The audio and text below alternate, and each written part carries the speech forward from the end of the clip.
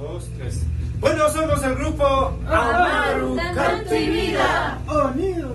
Estamos aquí para, para compartir y esperando de que nos apoyen con el éxito para ser los ganadores de este gran concurso. Vamos a presentar un temita tradicional. Maita, maita.